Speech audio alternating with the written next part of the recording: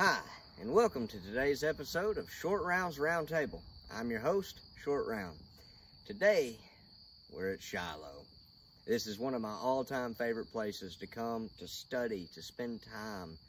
It's just, if you've never been to Shiloh National Military Park, this is an absolute bucket lister, I promise. It is well preserved, it is pristine, the staff here is overly friendly.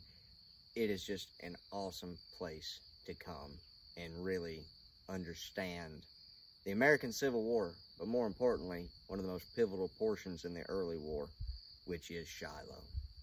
And part of that is explained by the monument behind me. The monument behind me is entitled Defeated Victory. With such a name, it, you know, it's kind of kind of backwards from how it should be, you know? It's either victory or defeat. It's never both. But in this case, for the Confederacy, it was. The first day of battle was April 6th, 1862. It was intended to be earlier than that by Albert Sidney Johnston and his staff. However, when they left Corinth en route for Shiloh to surprise the Federal Army, the rain, the muck, and the mud made a single day trip, if not less, days en route. But when they finally did get here and they laid in wait on April 5th, and they were so close that they could hear the Federal Army drilling, they knew they still had that element of surprise. They had the numbers, they had the munitions, and they had that element of surprise. But history tells a different story than the victory they had hoped for. This side of the monument, the soldiers are erect. They stand tall, prepared for the day's fight ahead. Their heads held high, and they're confident in the victory that they know they can win. But as we know through the first day, did not go as planned. Nothing went as planned. By mid-afternoon, Albert Sidney Johnston had received a wound behind his knee. He couldn't feel it because of a dueling incident that had happened many years ago. He had no feeling and no way of knowing he had been struck behind his knee. And what made it worse was the heel of his boot had been shot as well. So all the blood that drained into his boot, he had no idea it was there. It was just pouring out through the hole in the bottom of the boot. That's why in the center, the angels mourn, Albert Sidney Johnston is there in the middle, in the middle of the battle, of those two days, he would fall. And it would change the tide of not only this battle, but the war itself. Because after the first day, Beauregard, who is now in command, would wire Jefferson Davis and tell him that he has pushed the Federals back, he has won the day, and that the battlefield was theirs.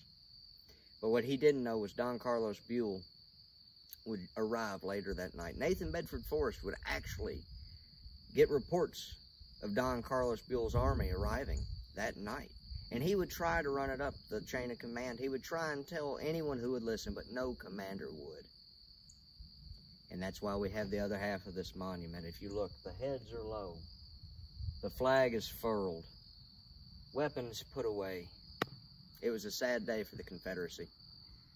It was a sad day for every man here. But the monument behind me is entitled Defeated Victory and I think it's named appropriately.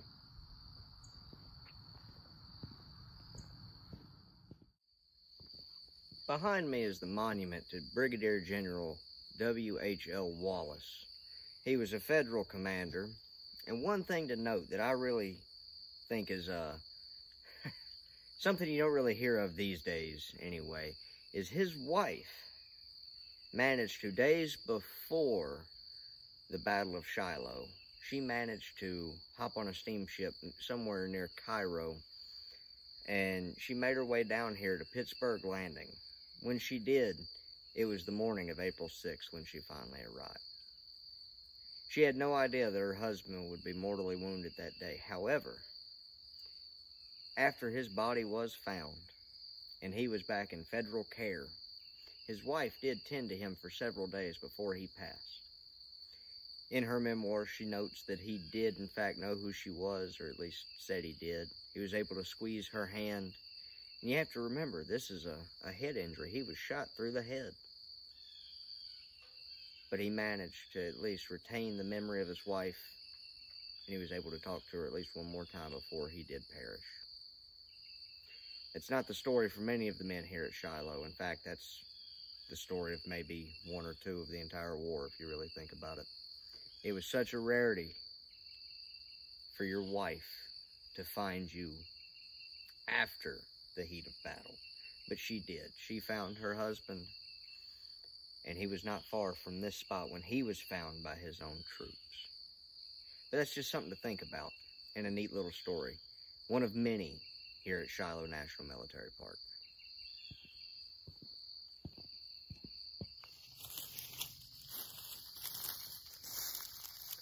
Behind me is one of my favorite pieces and really a fantastic uh, tribute and monument, if you will. Behind me is Ruggles Battery, one of the most famous artillery batteries of the entire war. It wasn't a single company, it wasn't part of a regiment. Ruggles Battery was a makeshift battery here at Shiloh.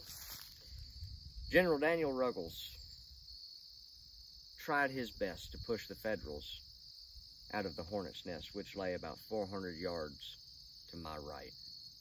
The, all these gun barrels are still pointed at the same place they were. The Federals were thick in the Hornet's Nest. They had time to reinforce, both with physical reinforcements and breastworks, and they did have troops come up. Most all of General Benjamin Prentiss's men, and that's who was in the Hornet's Nest and down there at the Sunken Road, they would fight tooth and nail all day. The battery behind me, its sole purpose was to push them out. It was to drive them to the point where they didn't want to be there anymore. That bombardment was supposed to be a holy hellfire raining upon the Federals to move them out of their, their just hard-fought location. Unfortunately, that wouldn't be the case. Almost every cannon here would shoot over what they were intended to shoot at. The Federals would remain in the Hornet's Nest, even though this bombardment was going on, up until around 4 o'clock. The old saying, more dead bodies attract more dead bodies, was a very true statement for the Hornet's Nest in the ground in front of me. As Prentiss put up such resistance to the Hornet's Nest, he would not give up an inch of what he claimed his there that day. And as many people pushed against it, as many Confederates tried and tried, with the bombardment of Ruggles Battery. No headway. But like I said, dead bodies attract dead bodies. And though Prentiss was in the middle, and you had Bragg and Beauregard on either side, men from both sides of the Hornet's Nest would hear what was happening, hear this major bombardment, hear this ground shaking hell, and they would turn.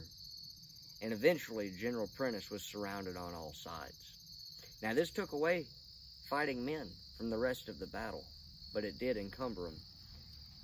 And with that, General Prentiss and all of his men that didn't die would be captured here.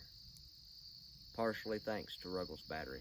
For had it not been for the noise, for the deafening, lumbering artillery booms, they wouldn't have been as attracted to the situation. They wouldn't have stayed. They wouldn't have come around and it would have played out different for General Prentiss and his men. But that wasn't the case. So in a way, thank you, General Ruggles. Not only did you make history by having the largest battery in the Western Hemisphere up until that point, but you did in fact play your part in helping to capture the Hornet's Nest.